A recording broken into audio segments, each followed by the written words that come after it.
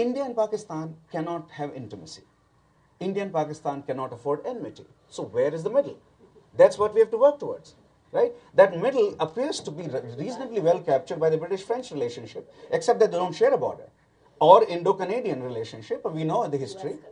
US-Canadian relationship. And so if, if those models are to, we have to work towards, and those are models perhaps of peace, then the first, the necessary condition is greater governmental resolve from Islamabad and demonstration of that. Ambassador Platt, we'll let you talk in just a second, but, but I'm yeah.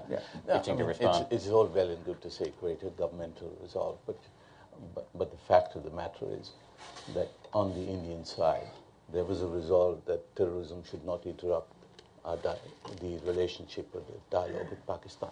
First act of terrorism, it did disrupt, and that was because of public sentiment. Similarly, on the Pakistani side, when Mr. Durrani, rightly or wrongly, confirms that Mr.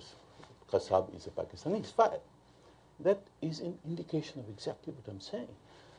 A government has to be dependent on its people. Yes, it has to lead. In the case of the Kashmiri situation.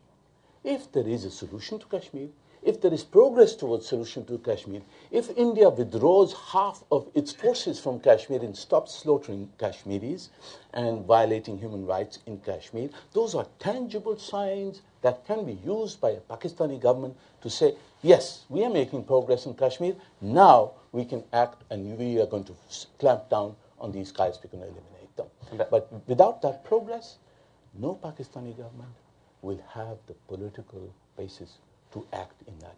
Let,